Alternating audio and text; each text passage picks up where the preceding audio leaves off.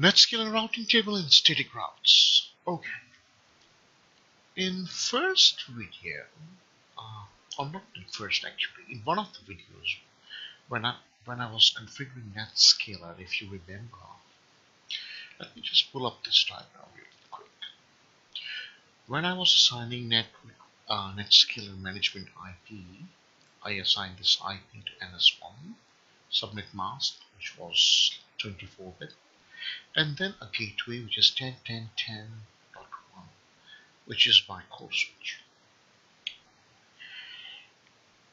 Actually this gateway as you know it's not going to do any good to me because when you specify a gateway NetScaler add a default route in a routing table that goes to this IP address. It means any network that the NetScaler doesn't know about, it will forward the traffic this IP. And unfortunately, it's not going to do any good in my case because in my case, most of my clients, or all my clients or users, will connect from external network.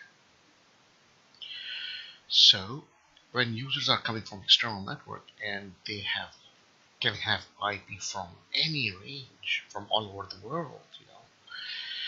How the NetScaler will know that where to forward the traffic. In this case, NetScaler, my NetScaler should know that any network that it doesn't know about, it should forward the traffic to my router, which is this, sorry, this one, external router, which is 172.1621.100, right? because all the external users are coming from this path. So NetScaler should know if I NetScaler need to reach those external user or respond to those external users, where the response of their queries will go to. It should not go this way, it should go this way. But currently my default route is assigned to this switch if I assign a default route in the switch that path that pass it to the NetScaler and then I get to be like a ping and ping and pong because all my internal users in my topology, sorry, all my internal servers are using NetScaler as a gateway. For example, 10, 10, 10, 200 is the gateway of this server, this server, this server, this server, and this server. So it will be like a loop.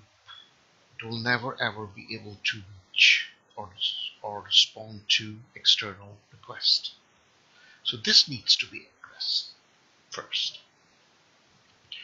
Of course, as I said, it depends on an environment, how NetScaler is deployed. You may have a one-arm deployment, multi-arm deployment in DMZ internal network, or external facing like in my case, no firewall in front, or you may have a poor man alternative where for example here I have a very high performance external router so what I can do at least I can enable packet filtering which is supported in every router and allow only specific traffic to come to NetScaler. It depends, but make sure throughput is not compromised. So that's another thing. The point here right now is the routing. So let's let's let's fix this first. So I go to this server, which is my internal network, uh, my internal network, and if I say ipconfig 10.10.10.100 is the IP and gateway is the NetScaler. So if I ping an external IP, which is an IP somewhere on the internet, or let's from a service provider somewhere, it just can't go out. Same thing for my NetScaler. If I go to my NetScaler and ping this IP, you will see nothing because NetScaler default route is pointing to my terminal switch. Right. So if I say control C, you see 14 packet transmitted, 0 received, 100% packet loss so let's fix this scenario first. Okay. So I'm here on 10, 10, 10, 200, which is why NetScaler. I go to systems network and sorry scroll down a little bit routes and here you can see the default route goes to 10.10.10.1 which is as per this diagram my internal switch not good. Must be changed unfortunately if I go to edit there is nothing much I can do. So the best option would be just select it and delete. Gone. Now I will add the default route again. Network 000 mask you know the concept of default route right? Yeah. It's a simple TCP IP networking 101 it's not a null route. So the default route where I would like to pass or would like to point to is to my ISP router which is 172.16.21.100 so 172.16.21 100 I don't want to enable management of course or anything here also any routing protocol or anything. Not the management sorry. Yeah and it will give me a message at the gateways not directly reach you and the reason is in order to reach this address that NetScaler need an IP address from this range so that it can talk to this gateway directly a direct interface or direct IP address I won't say interface here I'll say a direct IP address that can talk to this gateway. So let's define an IP.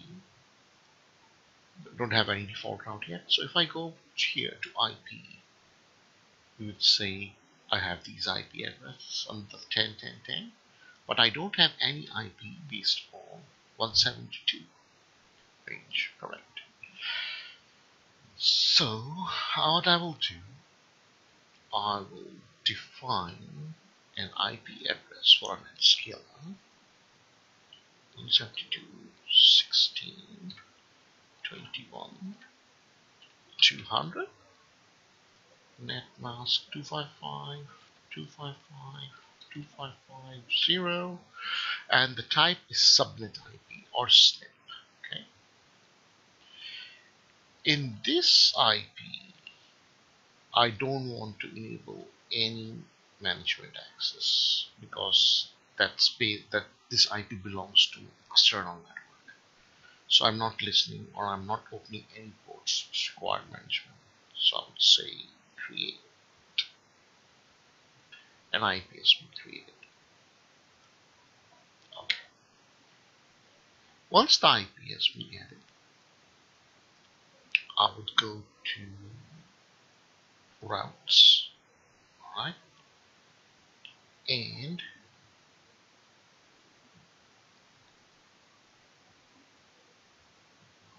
I will add the default route which is 0 0 0 0 0 0 0 0 and gateway is 172 16 21 100 once again this is my router. This is the default gateway. Or, or yeah this is the default route points to. Any IP address that my NetScaler don't know about just send it to this gateway which is my external router okay and create. And my external gateway is fixed. Sorry default route is fixed. My default route is fixed as well as under IPs I have defined an IP address which will be used by NetScaler to communicate with the default gateway. Okay, now as we have all the routes and IP addresses, as you know, all my internal servers or computers are using Netscaler as default gateway. So what I would like to do that whenever my computer sends traffic out, I would like NetScaler to NAT those internal IPs to this external IP. So for that purpose, I will highlight my internal network and I will say configuring reverse or configure reverse NAT. And I would like to configure reverse NAT for my internal network right? I would like to enable IP source persistency, so it means it will use the same net IP address for all reverse NAT sessions. And which IP it will use to NAT my internal network. I will choose 172.16.21.200 because this is my external IP. This is the IP that NetScaler will use to talk to my default route, which is my external router, a door to outside world, and click OK. And this way, as you can see, I have added reverse NAT. So now what will happen when my internal computer will talk to outside world, all my internal IP addresses will be netted on this particular IP address. So now let's see as we have added the route, we have defined the subnet IP, and I did the reverse NATing, will I be able to ping the external network? So let's see, will that ping works this time? Here we go. I'm able to reach outside world. 182.50.132.242 good. So if I go also to Netscaler and here we go. I'm able to ping from Netscaler as well. Because the default route has been fixed Netscaler already have a public IP to reach the uh, my my ISP router as well as internal network is also netted to the Netscaler public IP address. So that's what I wanted to explain to you. Fixing routing table, adding static route, and adding reverse NAT in my scenario because my scenario all my internal computers using Netscaler as default gateway. So that's what I did. Alright great. So see you in another video. Thank you